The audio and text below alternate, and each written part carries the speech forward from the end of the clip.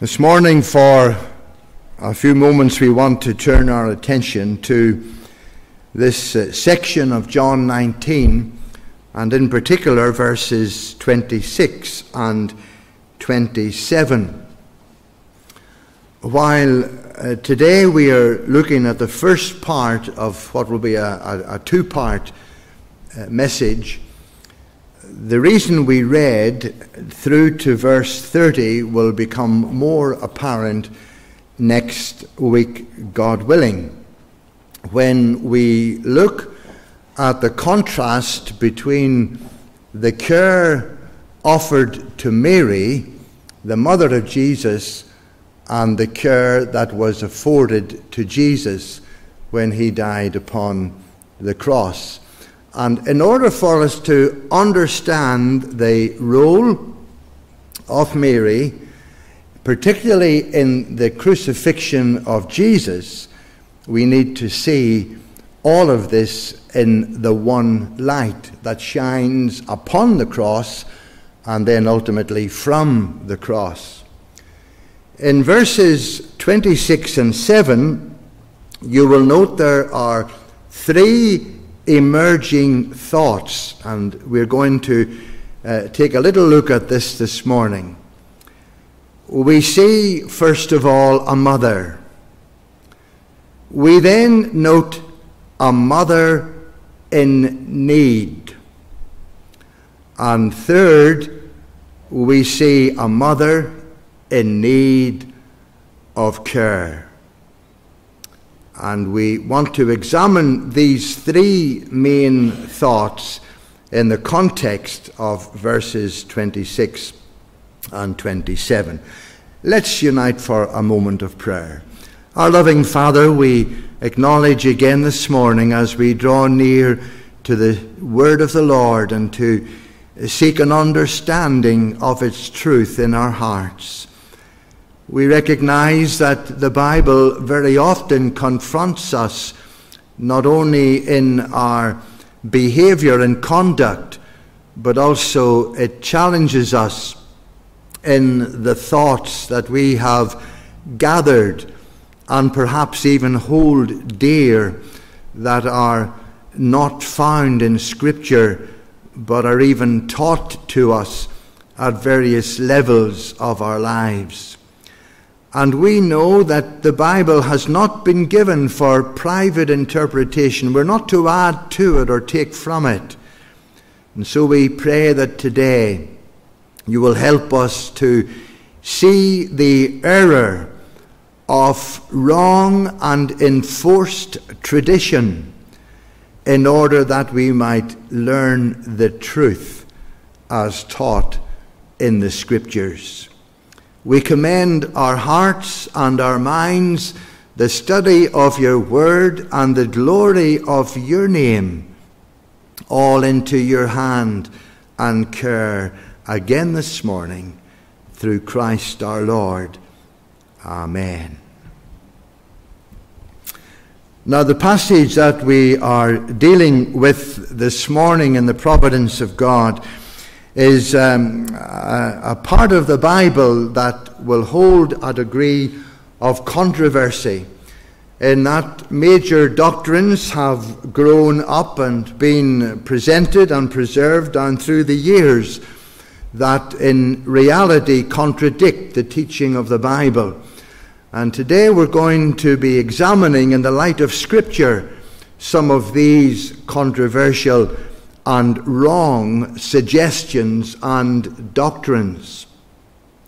As we have noted in past studies, this chapter deals particularly with the crucifixion of Jesus.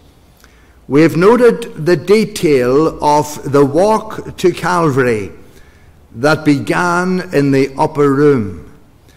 We have encouraged our hearts as we have observed that right through the Garden of Gethsemane, the arrest of Jesus, the trials before priest and governor, the persecution, opposition, and eventually the crucifixion of Jesus by the Jewish leaders at the hands of the Roman soldiers, all come together to defy the critics of the centuries and declare in the majestic interruptions of God in our lives that God's purpose in every detail has been, is being, and will be fulfilled.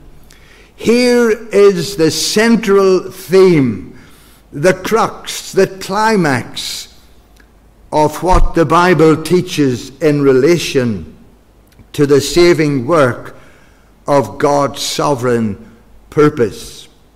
But as we continue to note the work of grace that was experienced and was shared and was released from the cross of Calvary, that work of redemption.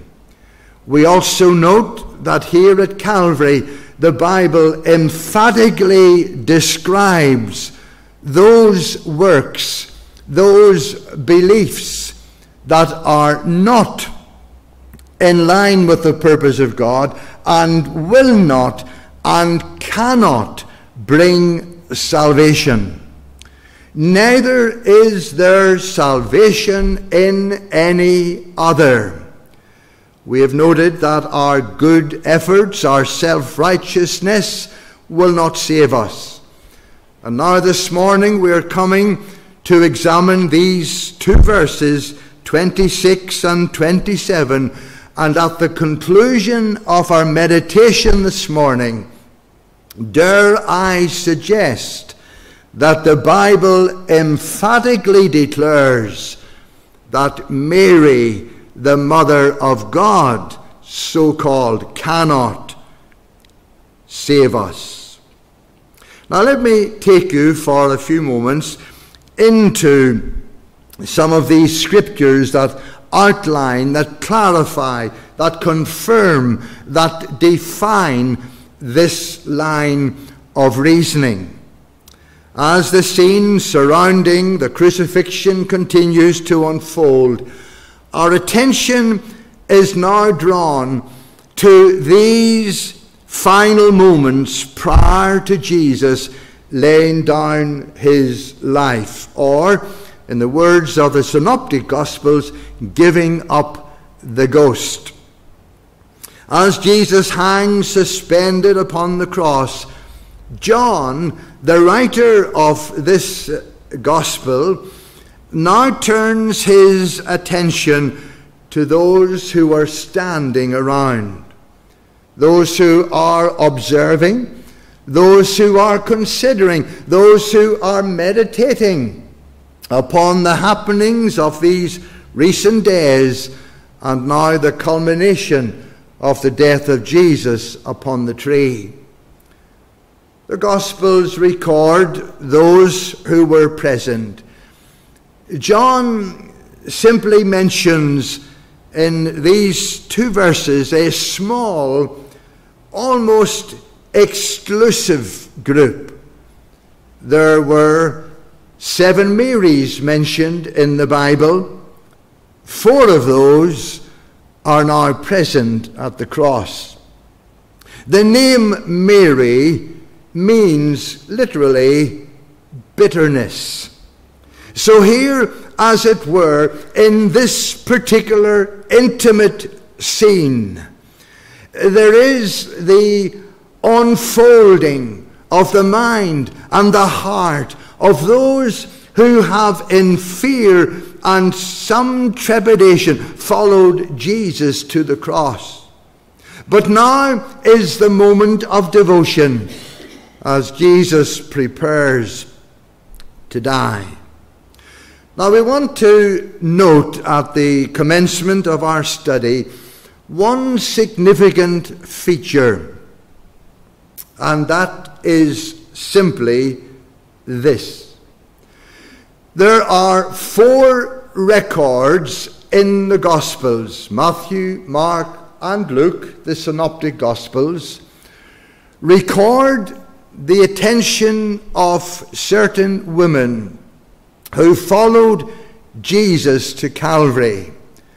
They name but three. John, as he comes to unveil his considerations of the scene, focuses on another. In other words, the mother of Jesus is not mentioned in the Gospel of Matthew, Mark, and Luke. The only reference to Mary, the mother of Jesus at the cross, is found here in John's record. I'll say more of this in a moment, but it is important to notice that all other writers of the Gospels failed to see the significance of the attendance of Mary at the cross, and hence the personal, private, intimate conversation that Jesus had with her in those final moments. That is to set out clearly, unequivocally, once and for all, the position that Mary, the mother of Jesus, holds in the dynamics of God's plan and purpose of salvation. Multitudes have been led into error through wrong teaching in relation to Mary. If we were to read, for example, in the Gospel of Luke, chapter 23 and verse 49, you'll see that Luke is the most vague of all, and he fails to even give one name he simply refers to the woman. They are not identified.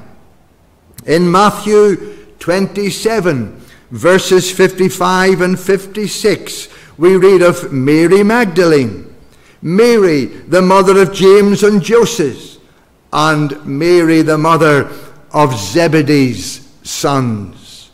In Mark 15 and verse 40, we read of Mary Magdalene, Mary, the wife of Clophas, the mother of James the Less and Joseph, and Salome, the mother of James and of John, who wrote the epistle of John. None mention Mary, the mother of Jesus. Now we come back with that background knowledge and information to read these verses in John chapter 19. And if you look at verse 25, you will notice here that John records there stood by the cross of Jesus his mother and his mother's sister, Mary, the wife of Clophas, and Mary Magdalene.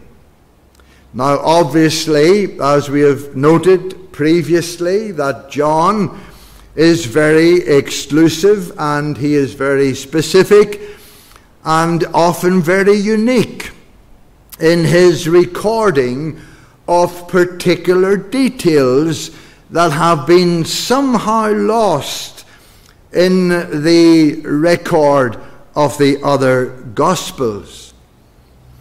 There has to be a reason why John lists Mary the mother of Jesus in his record? Well, verse 27 gives us the answer to that query. In verse 27, we read that Jesus said to the disciple, Behold your mother. So John is not going to forget this incident. This is something that is personal, it's important, and it touches John where it affects him most, and that is in the heart. We're going to come back into this in a, a little a moment. Now, verse 27 Um, and verse 26 warrants our careful attention as um, Jesus begins now in these final moments before his death to reveal not only his concern for the ongoing care of Mary, uh, but also to position her so that those who are observing and those who will follow will be clear in their identification of truth as it relates to our salvation. But first of all, we want to step back just a little bit and uh, pace our walk through the scriptures so that when we arrive at this scene before the cross, we will have a clearer understanding of the role of Mary as outled and clearly set out in the scriptures. While John gives us a little insight into Mary's thoughts as she now stands before the cross upon which her son in that earthly sense of his humanity has been placed. We find in this uh, text, uh, verse 25 to 27, that Mary does not utter a word. John does not utter a word, nor does Jesus to explain or to clarify, in essence, what is going on in the mind and the heart of Jesus, or in the heart of Mary. So, in order for us to pick up and get a, an understanding of what is developing in the mind and heart of Mary, we actually have to go back about 30 years. So if you take your Bible and turn with me to Luke's Gospel, chapter 2. Luke's Gospel, chapter 2.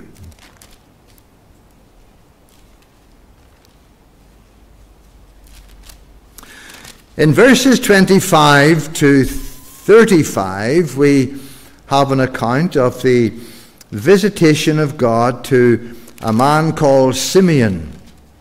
Now, Simeon is often overlooked in the Christmas uh, narrative.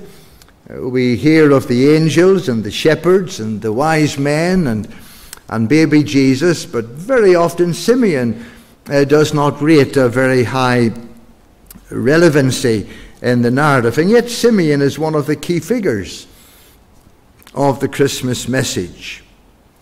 Now, notice what happens here in these verses. If you read verse 25, you will see that Simeon was prayerfully anticipating the coming of the promised Messiah. Behold, there was a man in Jerusalem whose name was Simeon, and this man was just and devout, waiting for the consolation of Israel, and the Holy Spirit was upon him. In verse 26, we note that God promised that Simeon would remain alive until Jesus came. He would be blessed to see the Messiah. Now, led by the Spirit, Simeon now arrives at the temple just as the baby, Jesus, eight days old, is brought in for required circumcision according to the law. You see that in verse 27. Simeon now takes baby Jesus in his arms and gives God praise for his fulfilled promise. You'll read that in verse 29 to 32.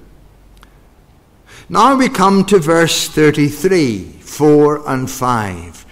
And we want to particularly note the prophetic word that Simeon now gives about the purpose for Christ's coming, or if you like, the reason behind the incarnation. Let's read verses 33 to 35. And Joseph and his mother marveled at those things which were spoken of him. Then Simeon blessed them and said to Mary his mother, Behold, this child is destined for the fall and rising of many in Israel, and for a sign which will be spoken against. Yes, a sword will pierce through your own soul also, that the thoughts of many hearts may be revealed. So we are given here the reason for Christ's coming. In John chapter 1:11, John confirms that in the coming of Jesus, the hypocrisy of Israel will be exposed. He came unto his own, and his own received him not. Going over into the second chapter of Luke, and in the 12th verse, you will notice that as the shepherds sat on the hillside and the angels came to herald the birth of Christ the Lord in Bethlehem, they were told, This will be the sign to you. This will be the sign. You will find the babe wrapped in swaddling clothes and lying in a manger. Now look at verse 35 of chapter 2.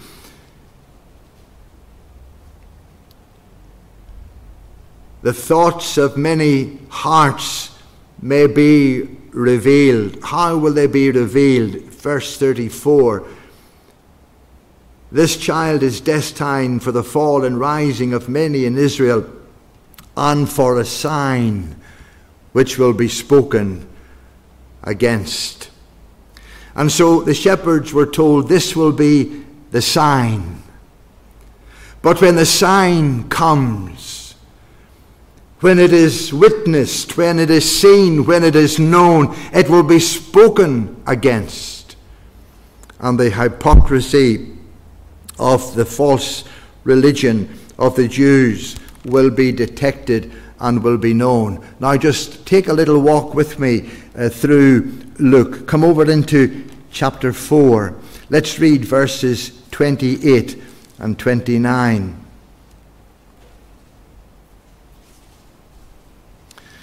So all those in the synagogue, when they heard these things, were filled with wrath and rose up and thrust him out of the city and they led him to the brow of the hill on which their city was built, that they might throw him down over the cliff. Come over into John's Gospel, chapter 6. John's Gospel, chapter 6. Look at verse 41.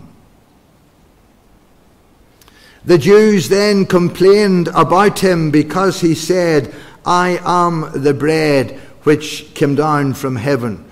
Verse 52 The Jews therefore quarreled among themselves, saying, How can this man give us his flesh to eat? Chapter 8, verse 13. The Pharisees therefore said to him, You bear witness of yourself, your witness is not true a sign spoken against, exposing the unbelief of the Pharisees and uh, the Sanhedrin and the people in general in um, the Jewish nation. Here, Mary is told the time will come when your heart will be pierced with a sword. And the word there for sword means a large, broad sword.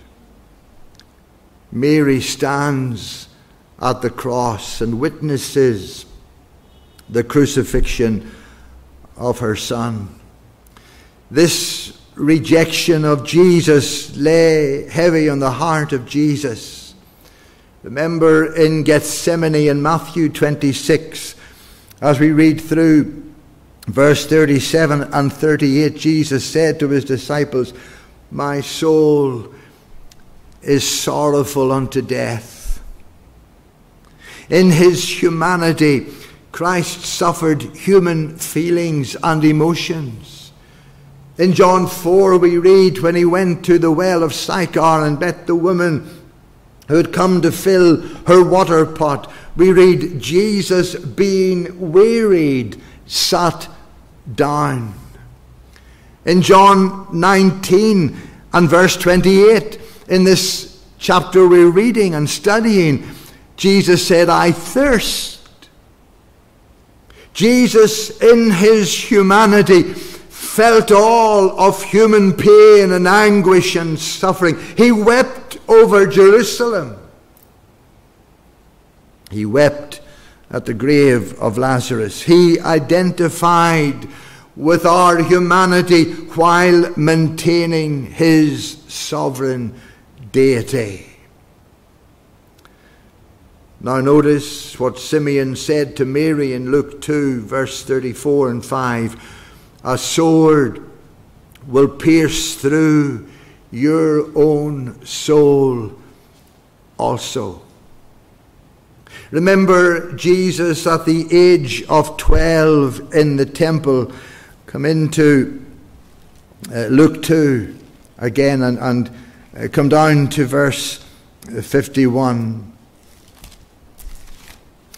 Luke 2 and verse uh, 51. Here we read, after Jesus has gone missing for the moment, and they go searching for him and find him in the temple. In verse 48, we read, Son, why have you done this to us? This is a mother's heart. Look, your father and I have sought you anxiously. Ever lost a child in the shopping centre? You remember the frantic searching, the almost panic when you've discovered that they're gone, and the relief when they turn up again. Mary felt the anxiety of her heart when Jesus, 12 years old, went missing. And what a relief when she found him safe and sound in the temple. But what an astonishment when he was speaking God's word and those who were there to lead the debates and discussions were listening to Jesus. Imagine her thoughts when she said to him, Your father and I were anxious. And he said, But did you not know that I must be about my father's business? He was not speaking about carpentry, he was speaking about salvation. And what does this do to Mary? Verse 50 They did not understand the statement which he spoke to them. Then he went down with them and came to Nazareth and was subject to them. But Mary kept all these things in her heart. She didn't understand them. There's much that she still needs to learn. But she ponders them. She considers them in her heart. Come with me over to John chapter 2. John chapter 2.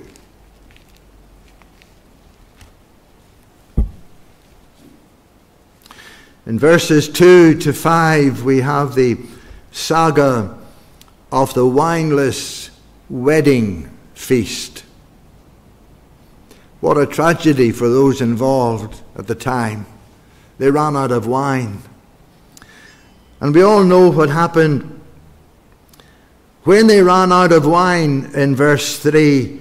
The mother of Jesus said to him, They have no wine. Notice there's no instruction, there's no petition, there's no plea. There is simply a statement they have no wine. She informs Jesus as the disciples often did. And if you read carefully through the Gospels, you'll see that time and time and time again the disciples came to Jesus with information. That's all. The feeding of the 5,000. They came and said, The day is far spent, there's a crowd here, there are no bakeries on site. What do we do? Imagine their astonishment when Jesus said, Well, you feed them. Well, they didn't because they couldn't. And so Mary comes to Jesus, and it's simply a word of instruction. That was all that she could do. And then, when Jesus does not answer, in verse 5, she turns to the servants and said to them, Whatever he says to you, do it. You see, this was an important moment, a revelation, that if the servants wanted to see the miracle happen, they had to go straight to Jesus. Mary simply brought the, instru- the, the word to Jesus, the information, and then she had to step back. Nothing more that she could do. And we know the outcome where Jesus turned the water into wine. Now, Mary stands at the cross, John chapter 19. And as we come back into the spotlight in this scene, there are two points that stand out. And we're going to just uh, briefly uh, conclude this morning by looking at the first one. We'll come back to the second one, God willing, next Lord's Day. In verse 26 and 27, Jesus secures his mother's care. Now, take note of that. That's an important statement, and we're going to explain why in a moment. The second comes out in verse 30. John chapter 19 and verse 30. So when Jesus had received the sour wine, he said, It is finished. And bowing his head, he gave up his spirit. The Synoptic Gospels record Jesus said, Father, into your hands I commend my spirit. So we have in verse 26 and 7, Jesus secures his mother's care, and now in verse 30, Jesus submits to his Father's care. And these two fall into place, they come together in full agreement. Uh, and we'll notice that more perhaps next week, God willing. Now, let me just uh, take you to a few more observations about Mary uh, before we conclude our thoughts today. We've already noted that her presence is only referred to by John, not by Matthew, Mark, or Luke, which indicates that Mary is simply an observer at the cross, just as she was at the wedding in Cana of Galilee. She is noted because she is here.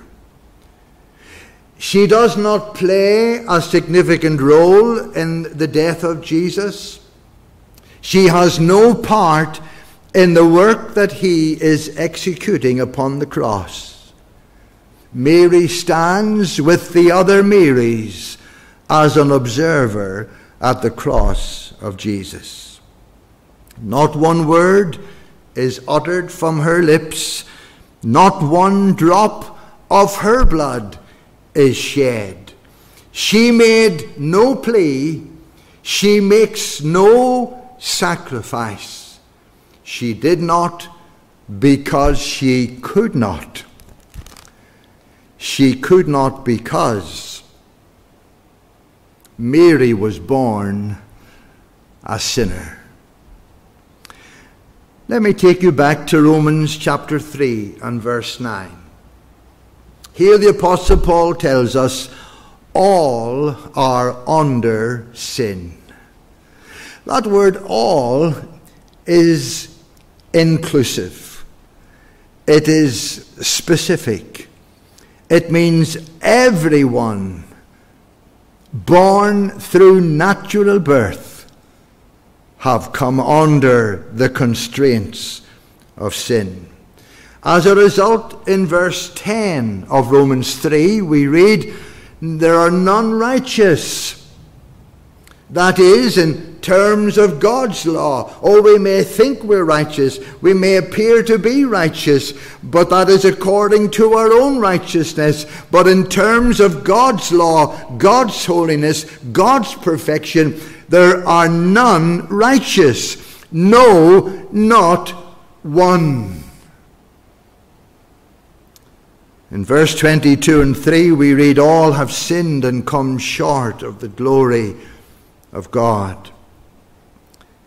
The psalmist David in Psalm 51 and verse 5 tells us in his confession and his repentance, he prays, he pleads for mercy and for grace and forgiveness, and he reminds us that he and we, that is, all of us, are born in sin and shapen in iniquity.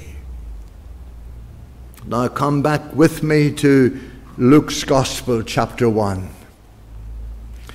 Luke's Gospel, chapter 1.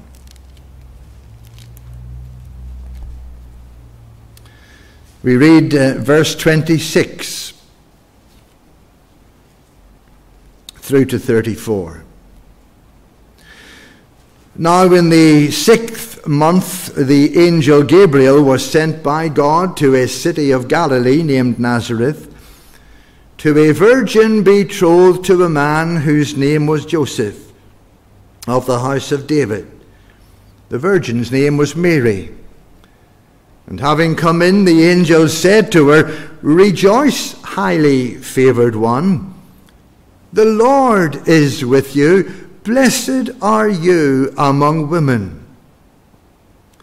But when she saw him, she was troubled at his saying, and considered what manner of greeting this was. Then the angel said to her, Do not be afraid, Mary, for you have found favor with God. And behold, you will conceive in your womb and bring forth a son, and shall call his name Jesus. He will be great and will be called the Son of the Highest. And the Lord God will give him the throne of his father David.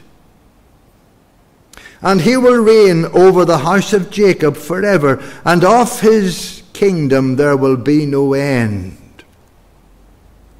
Now, how is Mary approaching all of this? How is she receiving this? How is she understanding this? Look at verse 34. Then Mary said to the angel, How can this be since I do not know a man? She is troubled. She is confused because she is thinking in the natural. That's the only way in which she can think. Born as you and I are born into this world as a sinner. And as the angel breaks the news, she finds it difficult to understand because she is still thinking in terms of the natural and the human. But look at verse 38 of Luke chapter 1. Having been given special grace in the intervening verses in her understanding, in verse 38, then Mary said, Behold, the maidservant of the Lord.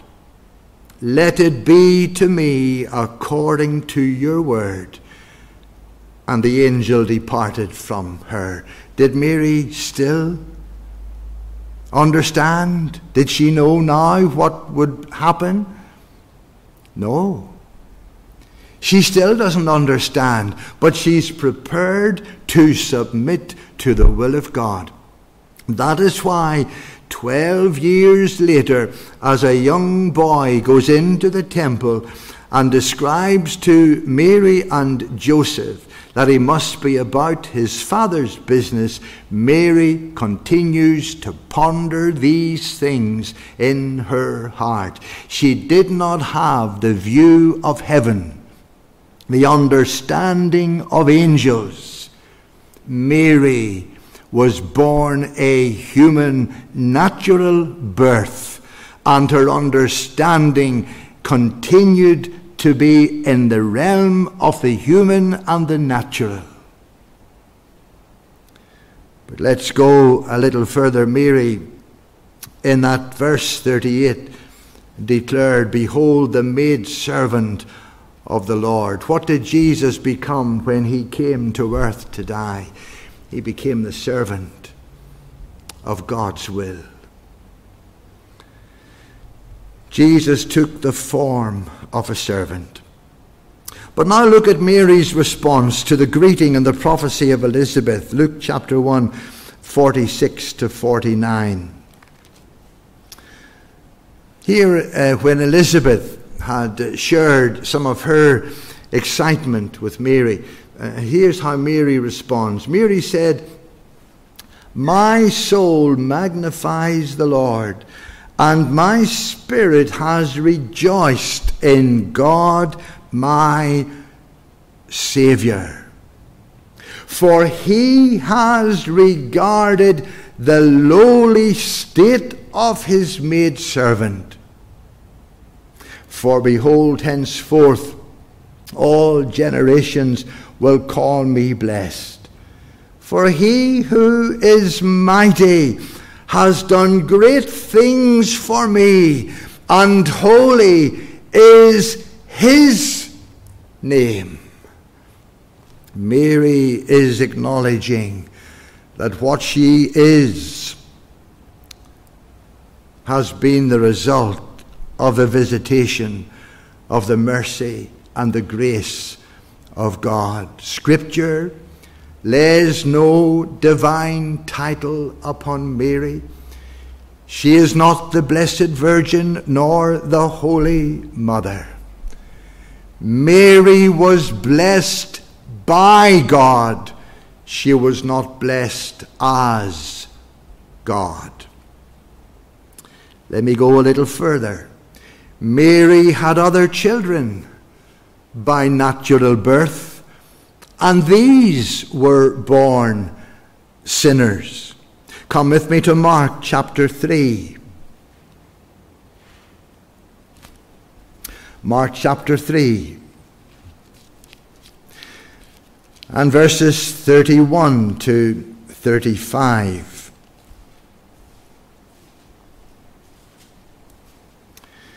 Jesus is facing controversy and conflict with the Pharisees. They don't like his teaching. His ministry is creating issues in terms of their synagogue membership. There are many who are being converted and forsaking dead religion to embrace what becomes known as the way. Jesus said, I am the way, the truth, and the life. Now we read, Then his brothers and his mother came, and standing outside, they sent to him, calling him. And the multitude was sitting around him, and they said to him, Look, your mother and your brothers are outside seeking you. But he answered them, saying, Who is my mother or my brothers?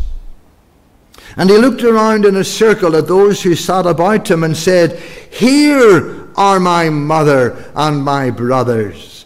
For whoever does the will of God is my brother and my sister and my mother. But Jesus had brothers and sisters in the flesh, those born of natural birth. What happens with those who are born by natural birth? They're born as sinners. Come over into Matthew chapter 13. Matthew chapter 13. And uh, look there at verse 54, 5 and 6.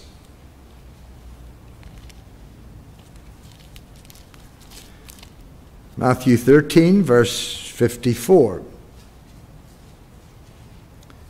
And when he had come to his own country, he taught them in their synagogue, so that they were astonished and said, Where did this man get this wisdom and these mighty works?